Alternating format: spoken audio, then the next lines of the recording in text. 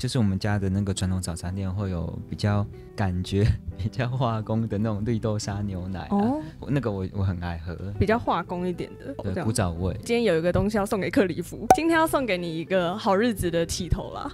哦，这个是豆浆吗？今天这是专属于你的好日子，这是绿豆沙，对，谢谢你。而 且这真的是早餐店的绿豆沙。但是这个里面有绿豆哎，嗯嗯嗯，它不是化工的，对，是厉害的。不管我们现在是不是在过自己喜欢的生活，他觉得嗯每个人在不同的生活阶段，一定都还有很多你不得已去面对的事情。远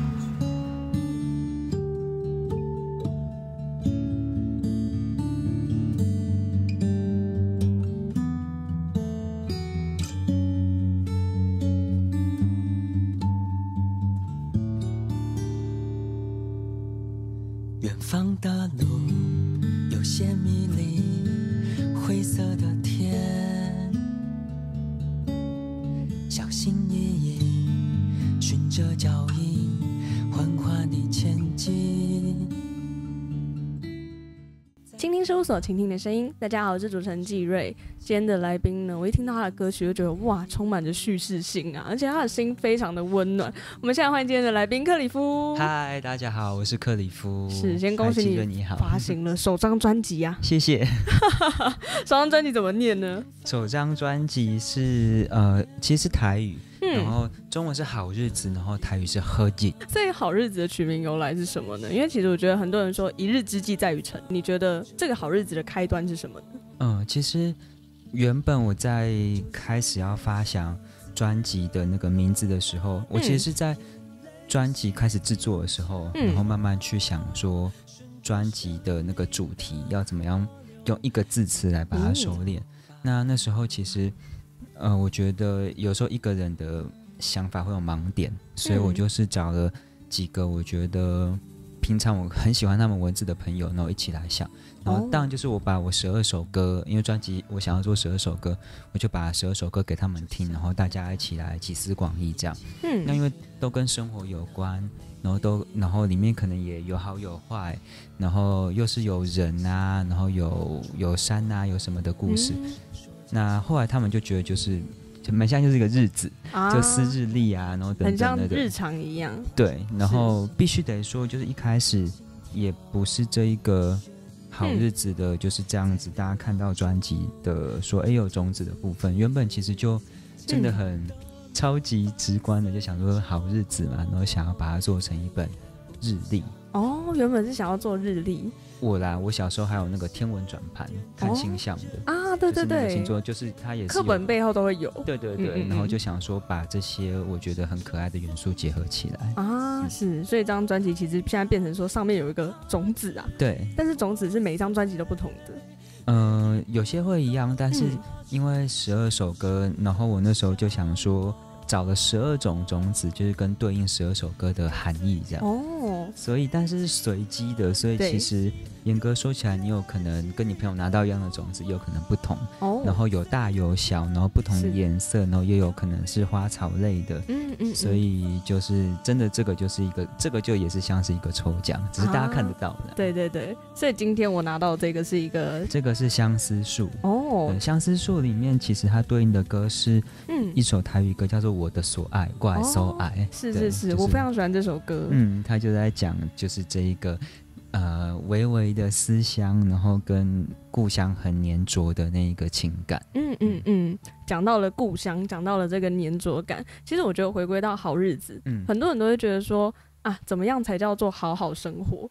怎么样对才叫做把一天过好了？嗯，对你而言，你觉得好好生活的定义，好日子的定义是什么呢？其实我觉得，其实每天生活的时候，在生活的那个当下，我觉得比较讲实话，比较真的难去思考说好好生活这件事情。尤其是嗯有时候，我觉得现在大家可能生活都算蛮忙碌的，对对然后对蛮蛮多资讯的冲击，很快速，对，很快速，嗯。然后资讯又很爆炸，嗯，然后很多时候我觉得这样这样的状态也会让我们，如果你是一个比较高敏型的人，就很容易变得很很受到各种的波动的影响，对。嗯。但是所以你觉得自己是高敏感的人吗？我昨天来测，然后发现是，对，但是，但是还算是一个可控，我算是过了那个高敏的嗯。的门槛，但是好像还没有到特高嗯的那种状态。啊，是，然后，所以我觉得对我来说，好好生活真的是只能把我现在这个当下，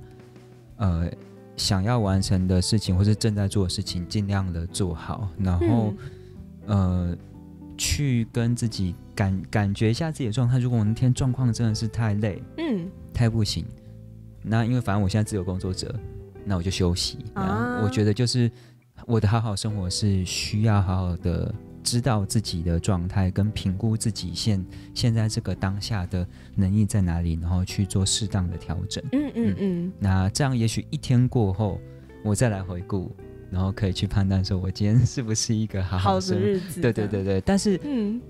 这个状态之后，我又会觉得，在这个回顾的状态之下，也许你觉得那天过得很糟，嗯。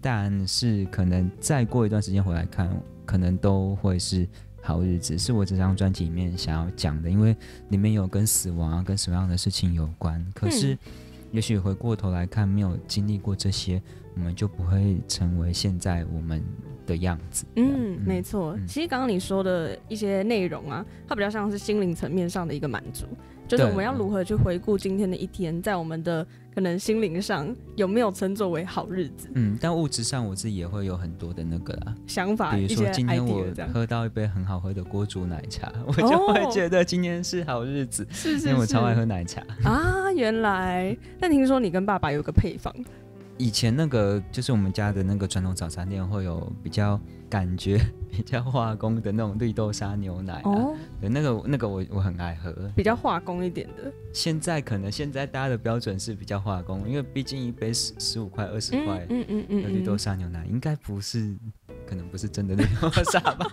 嗯，没有没有真的绿豆在里面，没有真的绿豆在里面，是是就是但就喝起来刷刷这样，啊。对但但就是又很浓稠，然后味道不错，甜甜的，是是是嗯是，所以那算是你小时候自己满足自己的一个小 table 这对，样。古。早味，嗯嗯嗯嗯。嗯，其实来到节目的来宾啊，不只要带自己的作品来，嗯。我的节目上也要留下一个深刻的印象啦。嗯，对，所以今天有一个东西要送给克里夫，好，什么印象？让？你自己来拆开。好。今天要送给你一个好日子的起头啦，好，可以现在，现在应该可以猜，可以猜。好。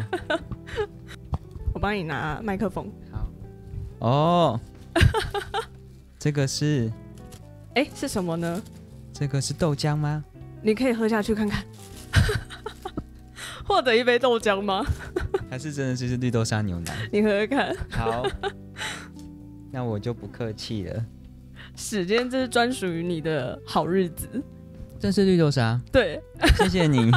而 且这真的是早餐店的绿豆沙牛奶。但是这个里面有绿豆哎，嗯嗯嗯，它不是化工的，对，是厉害的。我买不到没有绿豆的绿豆沙没有啦我觉得我觉得现在大家都比较是重视健康了，所以就是比较说谢谢你。是，今天这个你可以边喝边边做这个访谈，没关系。我先放着。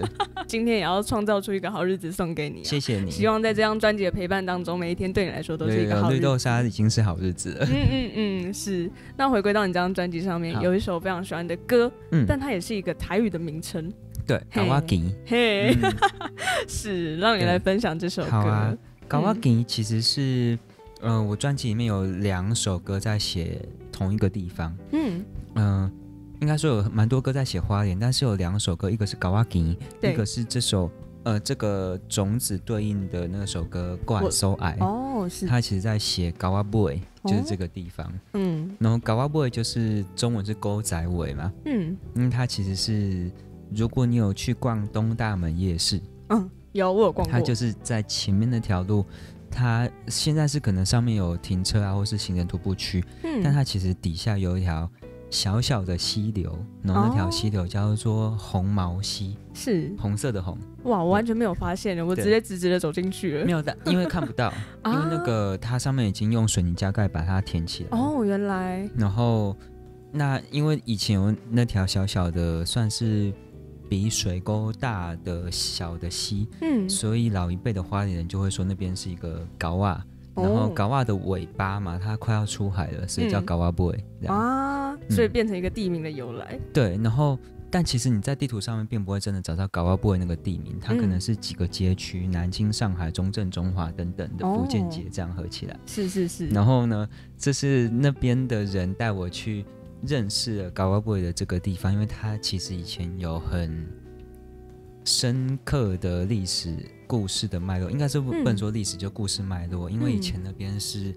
算是有点像台北的话，就是 Banga 哦，大道城，就是那种，龙蛇杂处，然后但是又有又有红灯区啊，嗯，那有派系斗争啊，又有斗殴，但是就是非常深厚的文化的底蕴在里头。嗯嗯嗯，然后嗯各个阶层的人都有。哦，嗯然后过了就是这好几十年之后，那个地方没落了，但是老一辈的人还在。嗯那年轻人进来之后，那大家又开始去想说，想要把这些故事分享给更多人知道。那我是认识搞部的里长之后，他开始跟我分享他从以前的故事，然后我看着那边从以前的状态嗯，到现在的状态，然后就后来就有点内化，然后就内化之后才写出这两首歌。嗯嗯嗯，但这首歌在创作前，你先记录了当地大家看到的一个风景啊。对，因为那时候《搞瓦 boy》这呃《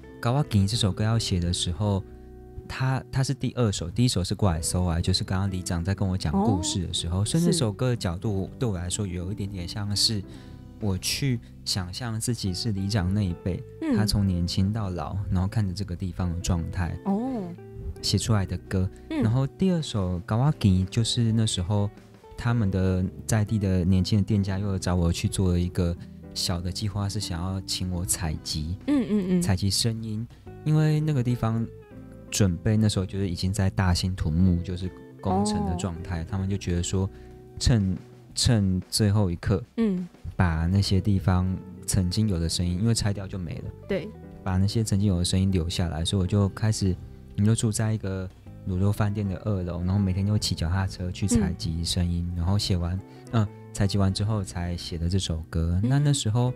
对然，后那个卤肉饭店的老板也是一个酷弟弟，这样，他很年轻，所以我就叫他酷弟弟。他他就是喜欢玩玩街头的艺术，哦然后喜欢即可拍，嗯嗯然后自己又又又又溜滑板啊等等的，也玩了一个计划，是他发给很多人一人一台那种一百块的即可拍，嗯嗯嗯，然后用不同的人的，机发吗？还是来吃卤肉饭就可以获得一台有些是随机，有些是朋友。啊？嗯，然后就请大家拍下他们眼中喜欢的花脸的角度，嗯对可能不一定是，也许不一定是喜欢哦，就是随便拍有可能，但每个人看到的风景跟角度一定会不一样。对然，后所以我那时候找回了这些人，嗯然后一个一个问，然后包括我自己有拍一台，然后最后我把所有人这种很有很复杂的情绪的，有对花莲很多热爱的，有就觉得哦就只是过客等等的，嗯嗯就把大家这些东西整理成就是《高瓦吉》这首歌。是，嗯其实刚刚一开始我先问过你说，哎、那你在这些来宾当中，你有没有最印象深刻的？对，就是是有一个妹妹，她叫芝荣，是，对，小芝荣。没想到芝荣是我听听事务所对前十集的一位来宾啊。对，因为那是时候她就说她有办过一个摄影展，嗯叫做“得以生活”，呃，就是那个“得以生活”就是啊，你做什么得以生活这样。嗯嗯嗯，然后，但是它的核心就是，不管我们现在是不是在过自己喜欢的生活，他觉得嗯每个人在不同的生活阶段，一定都还有很多你不得已去面对的事情。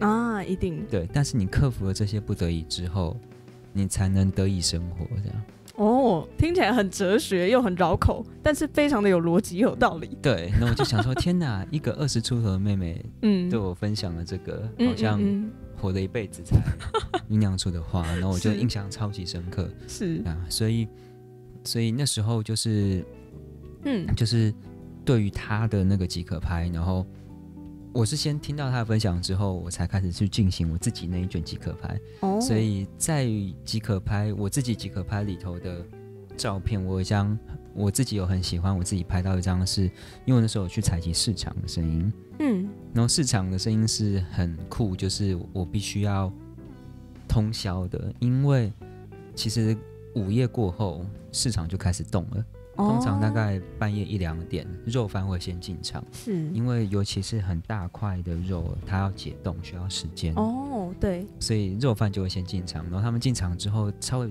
比较解冻，大概三四点就会开始听到剁剁剁剁肉的声音，嗯嗯嗯，各种很大声剁剁剁。那一次就是我需要先就是需要逼迫自己没办法睡觉这样，嗯嗯，然后嗯到五六点的时候就是呃没有到六点，但五点前四五点的时候菜贩开始进场，哇，所以就是整个半夜其实市场里面是非常热闹的，然后一直到嗯清晨五点过后六点婆婆妈妈进来，那又是另外一个光景这样。是是是，对啊，那我就是看到里面有一张，我就有拍到另外里面有一张，就是有一个很清秀的妹妹，然后她在肉贩前面就是卖东西，然后她嗯。其实对我来说她是很发光的，嗯，但是他也感觉到很疲惫。我觉得这就是一个很得以生活的一个状态的状态。嗯对对嗯嗯嗯所以你在花莲那时候待了多久呢？其实通常都一次嗯不长，我就是哦可能一次最多就是两三周。嗯嗯，可是嗯那几年因为花莲有蛮多的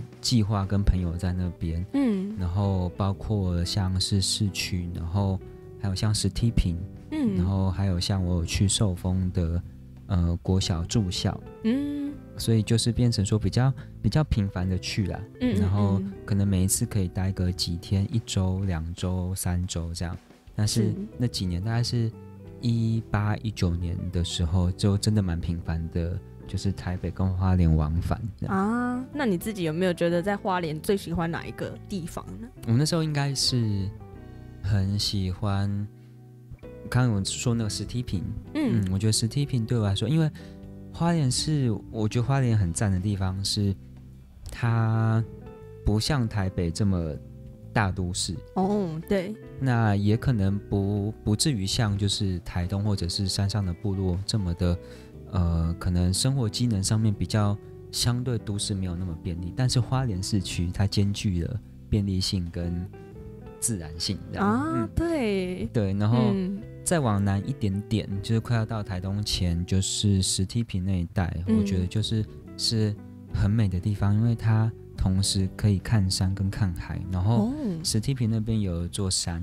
嗯，就是我讲的是山，可是其实就是爬上去大概就是五分钟。哦，这么快，对，就是其实它就是只是一个，它叫单面山，它其实是嗯有点像是一个细大的石块哦，哦，但是远远看的时候就像是一个呃斜面的个山，对，嗯嗯，那你嗯是可以直接爬上去的，嗯嗯走嗯上去，直接直哎、接走很方。便呢。对，然后走上去之后，你就可以在那边看，就是日出啊，或者哇是等等的，就海景等嗯等，嗯嗯，完全不会有遮蔽。是，然后我在单面上山上面，就是它其实就是你也是呃没有什么需要说呃进去还要申请啊什么地方，就是实体品虽然是一个游戏区，但是你就是你可以直接就走进去。嗯，那我在那边看过日出，然后还有看过就是肉眼就是一抬抬头看就是肉眼可视的银河，哇就很，惊人。然后是，看到银河之后，就是就是坐在那边就是呃发呆或什么，然后就一直看到流星的。好漂亮的感觉，不是流星雨的时季节，你也随意就看得到可以看得到因为星星实在太多，嗯多到嗯嗯就是、很惊人的状态。光听你形容就会很想去这个地方。对啊，然嗯后非常、非常非常舒服。当然，我觉得冬天可能会很冷，因为相对来说它的遮蔽就少。嗯，嗯没错没错。所以刚刚讲到了两首歌都跟花莲有关啊，嗯，是它其实算是有点像串联在一起的。对，是，其实我觉得克里夫的声音真的是非常的温暖啊。那先回归到你自己身上，嗯是你从什么时候开始接触音乐创作呢？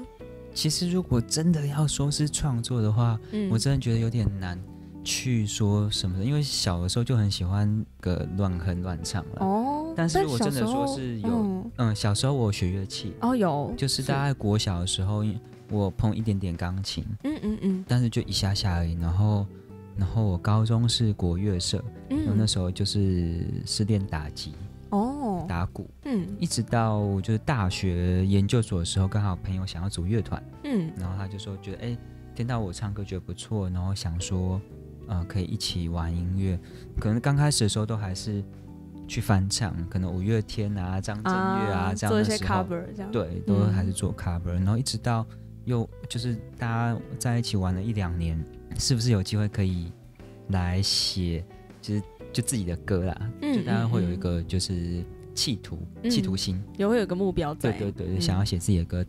如果认真说起来，应该是那时候二十几岁的时候，嗯大概二十二、二十，对，二十岁出头，然后觉得说想要有自己的作品，然后那时候还有还有一起玩音乐的朋友，然后我们就大概挤了几首歌这样。嗯嗯嗯。但现在现在看，其实我觉得不管什么阶段看，往后看、往前看，应该就还是会觉得很很深色啦。啊但我觉得那时候对我来说，就是零到有变成一首歌，然后大家一起把它变成一个音乐的一个过程，嗯嗯对啊然后嗯是然后觉得很很有成就感。的啊嗯，所以从那时候开始就已经有一个创作的启蒙在了。对，然后只嗯是后来我毕业之后，后来其实大家毕业之后就也没有玩乐团，然后然后我因为那时候大家想要有好的作品，然后我还想说，哎，我不太会乐器，那嗯。我是不是要去学个吉他？因为我哦本来就很喜欢呃民谣吉他的声音，嗯。所以我就找了一个老师学了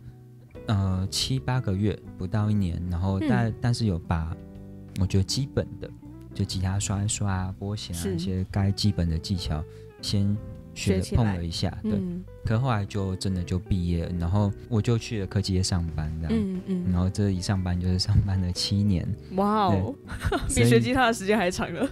对，然后所以有点可惜。我那时候其实有时候真的有时候放假还是想说要拿起来就真的只是摸一摸，嗯 真的只是摸一。摸这样。后面都变成自学了。对，是，但其实这张专辑有一首我也非常喜欢的歌，嗯然后我就发现，哎，前面这一段听起来就是手机录的一个声音。啊，那个妹妹的声音，嗯对嗯嗯，这首歌叫做《吹过岛屿的风带着我回家》。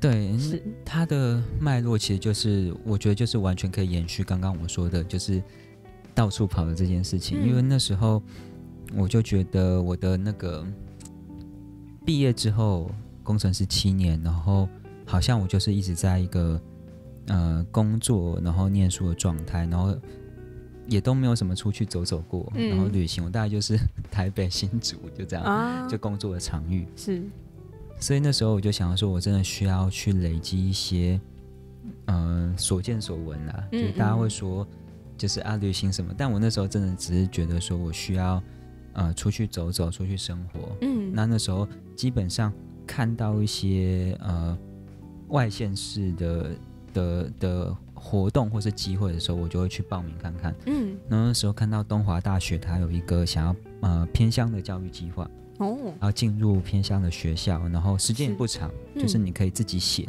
你可以跟小朋友玩什么事情，多久？对，那嗯种可以待多久？嗯，它只它只是唯一的限制，就是说不要低于两周，哦，。只是那其实很很很蛮轻松的，嗯，但嗯。它它也没有费用，嗯。就是说它可能有一个整理一个老师宿舍让你住，就这样子。嗯嗯。那我觉得想试试看，那我就去，所以那时候就到了寿丰的那个丰里国小，哦，待了三周左右，是。然后那个手机的声音是我到校的第一天，然后发嗯。现学校因为是小朋友不多，就是二十几个，一个嗯年级就刚好一班而已。哦，然后是那时候好像是一个二年级的妹妹，对她很喜欢唱歌，然后有一天早上，平常也都我就住在学校里面嘛，所以嗯平常也是在学校晃晃荡嗯这样。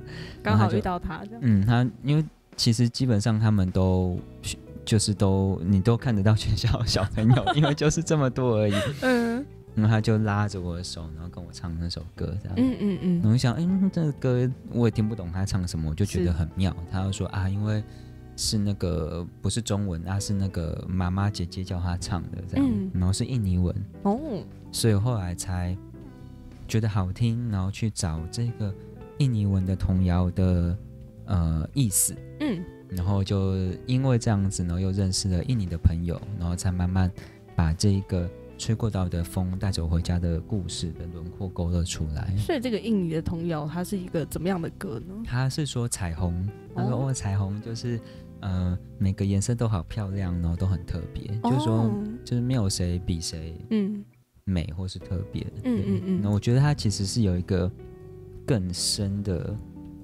的的含义在里头的。那、我自己觉得是蛮美的歌。嗯，但我在这首歌当中也听到蛮多的环境音啊。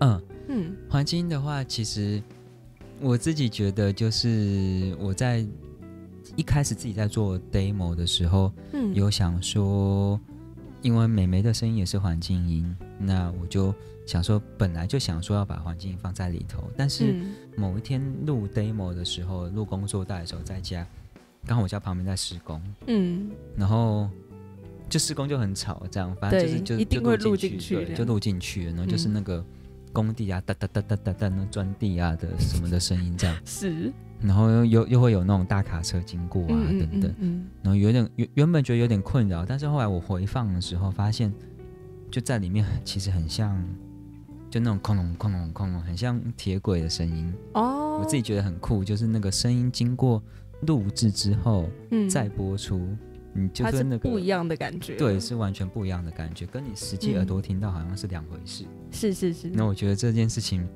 蛮酷的，所以我后来就把它偷偷的就是藏在后头。嗯，然后后来其实我自己又觉得，嗯。呃，对我来说是一个呃刻板印象的隐喻在里头。比如说，嗯、因为其实移工这件事情，就是印尼这样移工的事情，他们其实所谓要去做的工作，就比比较多是属于四大危险啊产业，是。可能工地、对。看护，嗯。然后就是作业员、嗯然后渔工这样等等的、哦对对对。的等等的行业。但是呢，我有时候就在想说，在写这首歌写完之后，突然在想说，这会不会也是我们的刻板印象？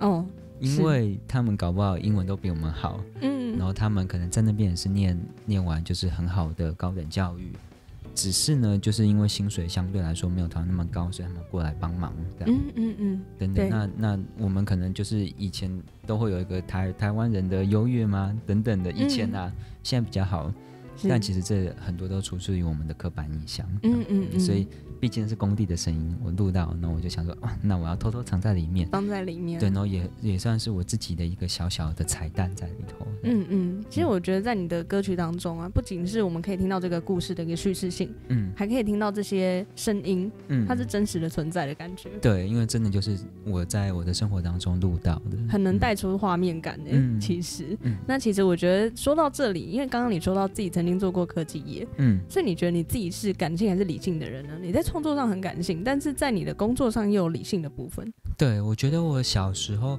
到大，可能就是被一个很理性的教育，呃，算是就灌输着这样，嗯嗯想法什么什么全部都是，然后要很有逻辑，然后很有理性。嗯那开始创作之后，其实我觉得，但我觉得我应该本质上面是个偏向感性的人，哦，但就是人生的前三十几年都是理性的这个状态下面给我的，我觉嗯。得、现在想想，我觉得也不是坏处。嗯，就是比如嗯说我在处理行政啊、工作啊，或者公一些事上面，公事上面呢，或者是需要一些跟呃窗口嗯。活动的窗口对接啊等等的时候，就是我这样的状态可以让我比较容易的去算是打理这些事情。嗯嗯嗯嗯，然后，但是有的时候我就会需要提醒自己，就拉回来，就是创作哦上面的时候，就要把那些东西全部放掉，是是，然后处于一个比较感性的状态。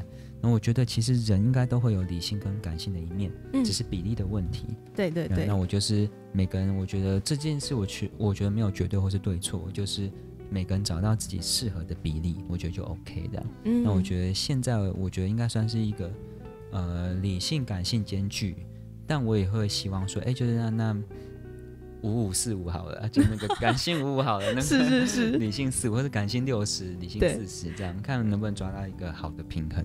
嗯嗯嗯。但其实我觉得在你的作品当中有一首歌，我也觉得很感性，就是嗯专辑的最后一首歌。嗯，就是写给爸爸的歌。对嗯嗯嗯嗯，让你来介绍一下这首歌。对，这首歌叫《丁金野狼》，就是哦丁金在台语就是说一个人做事就是非常非常的负责任，然后很呃很不可懈怠，就是要嗯尽全力把它做好这样。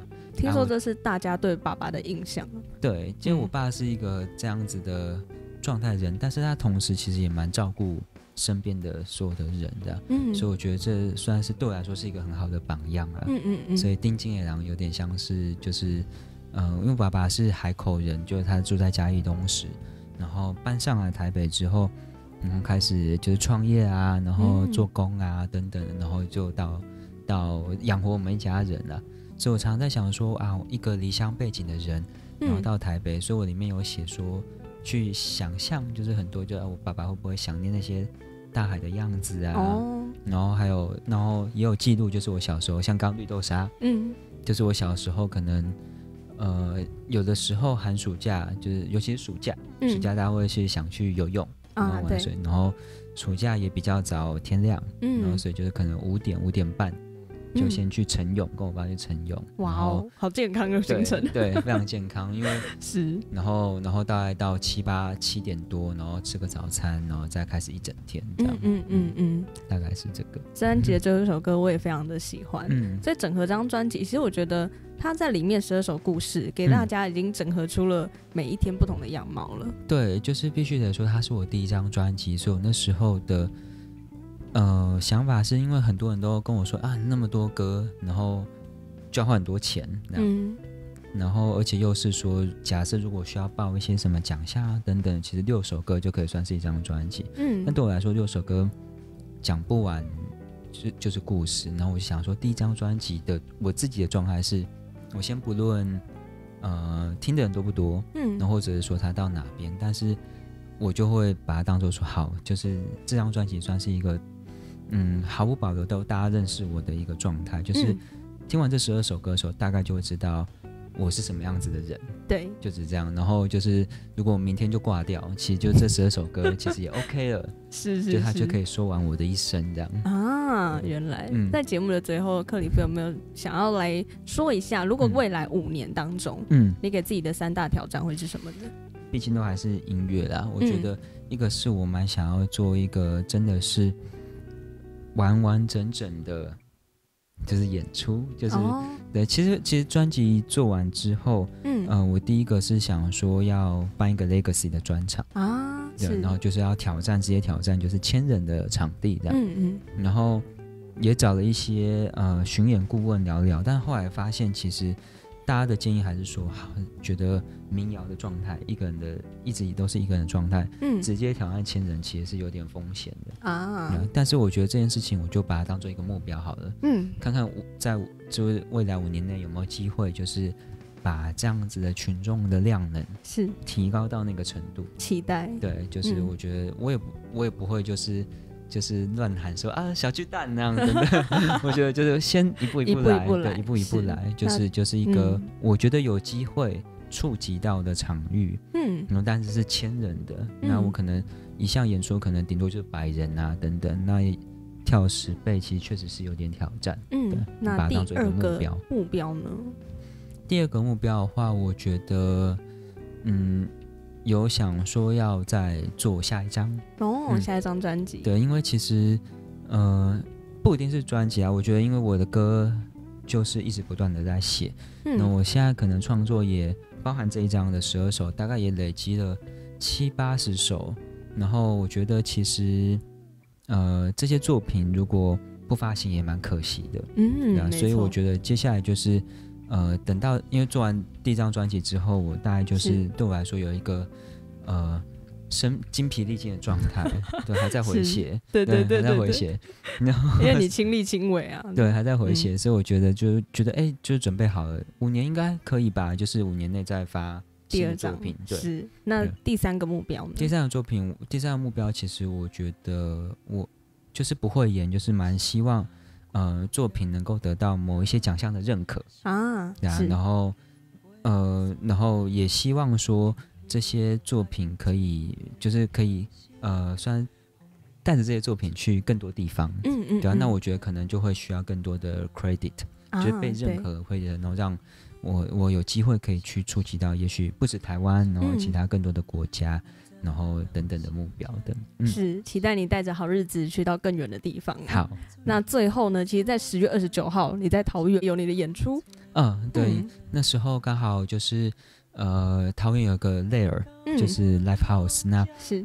就是从我刚开始演出的时候，就真的是有过去那边，然后老板也孙权，他叫孙权，就是也很帮忙我。今年的甜玫瑰音乐节，嗯，就是猎人那边就是有找我，还有有一个很棒乐团叫特修斯，对，我们在十月二十九号的下午四点。就可以看到你们的演出了。对，或我们会一起办一个，就是属于呃铁玫瑰音乐节下面的一个售票的专场，嗯，然后就是反正我们一定会卯足全力，这样欢迎大家来看，是期待。非常谢谢克里夫今天来到倾听事务所，谢谢，也非常谢谢各位听众朋友的收听。那我们下周再见喽，拜拜拜拜